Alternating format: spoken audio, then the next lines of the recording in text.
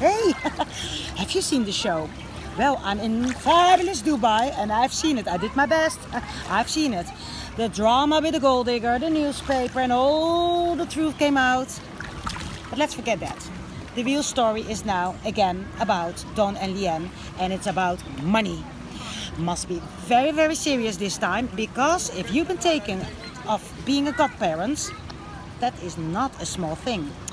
But now we have two fairy godmothers in Cheshire, and they're not even from Cheshire.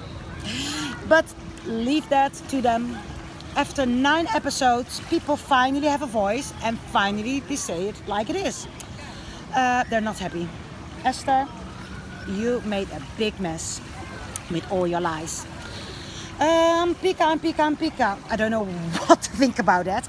But Ampika is going in psychic world. And she is letting people coming in her and letting people using her body. I don't understand it at all because at the end of the day, this is very serious.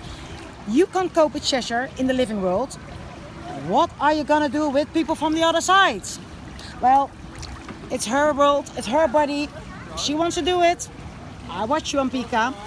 Never a dull moment with her, that's a fact. 200 people came on the wedding. We have seen that all, yeah? It was renewal of the vows, whatever it was. It was a circus. But Lauren said something really, really good.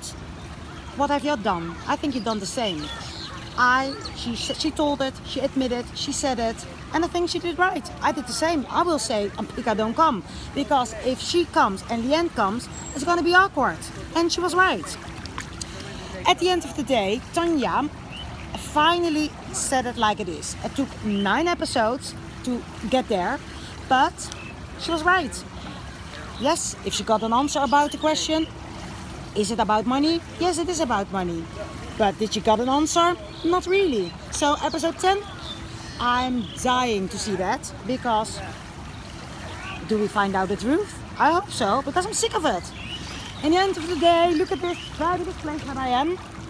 And can Cheshire please don't disturb me? See you next week. Bye.